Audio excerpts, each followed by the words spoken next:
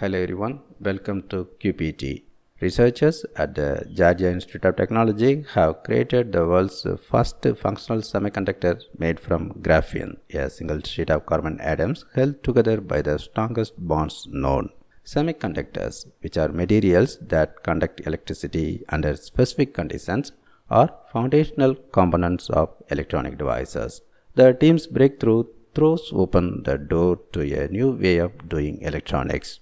Their discovery comes at a time when silicon, the material from which nearly all modern electronics are made, is reaching its limit in the face of increasingly faster computing and smaller electronic devices. Walter de Heer at Georgia Tech led a team of researchers based in Atlanta, Georgia and uh, Tianjin, China to produce a graphene semiconductor that is compatible with conventional microelectronics processing methods, a necessity for any viable alternative to silicon. In this latest research published in Nature, De Heer and his team overcame the paramount hurdle that has been plaguing graphene research for decades and the reason why many thought graphene electronics would never work. Known as the band gap, it is a crucial electronic property that allows semiconductors to switch on and off. Graphene didn't have a band gap until now. De Heer says that they now have an extremely robust graphene semiconductor with 10 times the mobility of silicon and which also has unique properties not available in silicon. De Heer started to explore carbon-based materials as potential semiconductors early in his career and then made the switch to exploring two-dimensional graphene in the year 2001.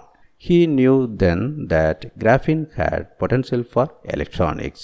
De Heer achieved a breakthrough when he and his team figured out how to grow graphene on silicon carbide wafers using special furnaces.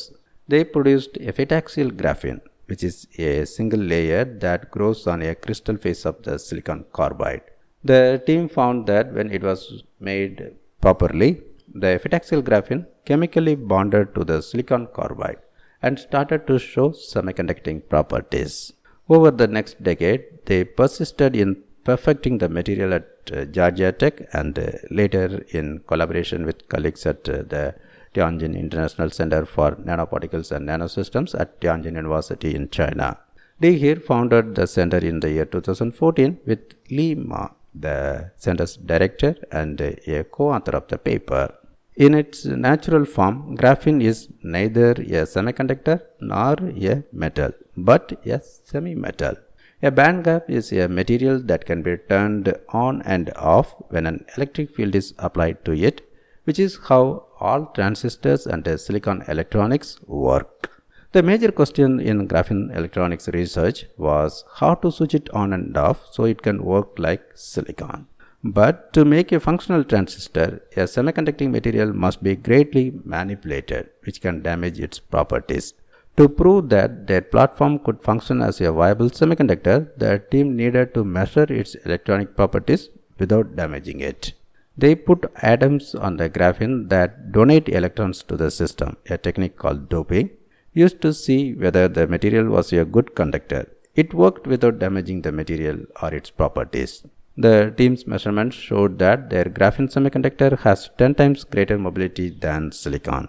In other words, the electrons move with uh, very low resistance, which in electronics translates to faster computing. It is like driving on a gravel road versus driving on a freeway, De said. It is more efficient, it doesn't heat up as much, and it allows for higher speeds so that the electrons can move faster. The team's product is currently the only two-dimensional semiconductor that has all the necessary properties to be used in nanoelectronics and its electrical properties are far superior to any other 2D semiconductors currently in development. Epitaxial graphene could cause a paradigm shift in the field of electronics and allow for completely new technologies that take advantage of its unique properties.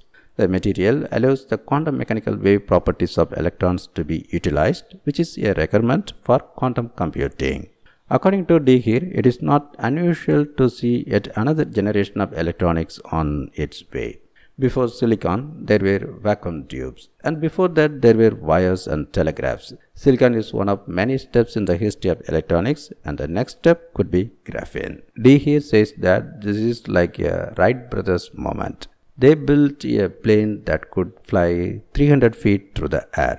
But the skeptics asked why the world would need flight when it already had fast trains and boats. But they persisted, and it was the beginning of a technology that can take people across oceans.